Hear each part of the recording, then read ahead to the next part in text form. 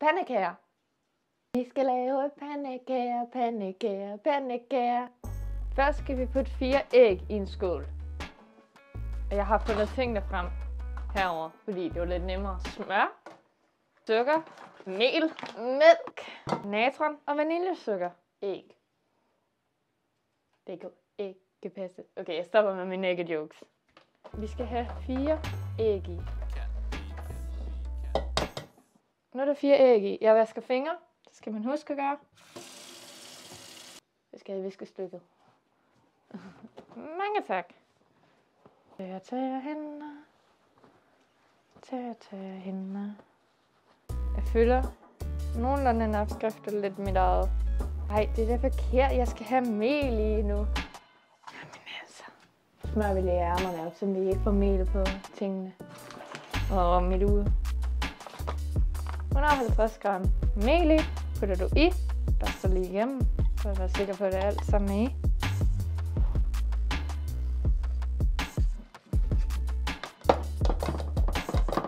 Fordi hvis man smelter smør, putter i pandekagedej, så slipper man for at putte smør på panden.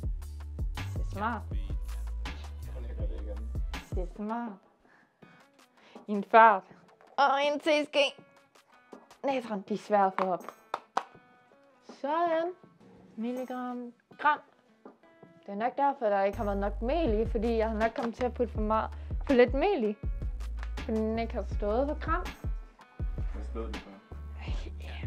Øh, det ved jeg faktisk ikke. Jeg kan ikke, finde, jeg kan ikke læse, når det er små bukser. Hvis der kommer for lidt mel i, så kan man altid putte lidt ekstra i. Åh, oh, den ser god ud. Jeg har to læger som kokke.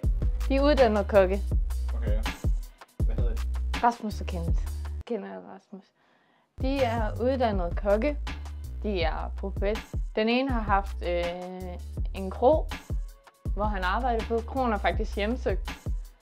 Vi har været ude og besøge den en gang. Det var lidt uhyggeligt, fordi det så ud som om, at der gik mennesker deroppe. Og der var ingen mennesker derude. Men det var altså bare en, øh, en du, øh, eller ikke en dukke, men sådan et, øh, man hænger jakker på.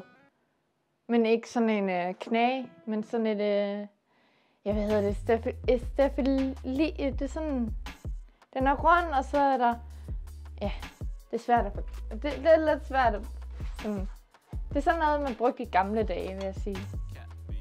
Men jeg fik faktisk at vide af min lærer, at man sagtens godt kan bage pandekager på den ene måde, fordi den bærer faktisk hele vejen igennem.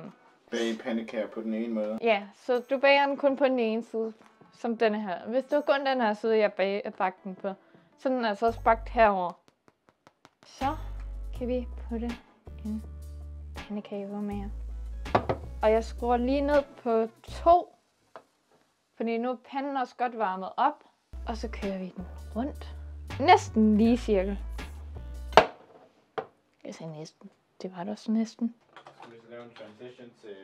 Ja, så dit kamera kan få noget øh, strøm på. Jeg har lige sådan en batteri, så... Har du? Ja, ja, jeg har, jeg har ekstra batteri liggende. Nå, det var Jeg det. tænker da også på alt. Ja, du gør så. Og nu laver vi en transition, så Wii! Du, du, du, tilbage! Og vi har lavet den, eller jeg er i gang med at lave den sidste pandekage. Hvorfor siger den sådan?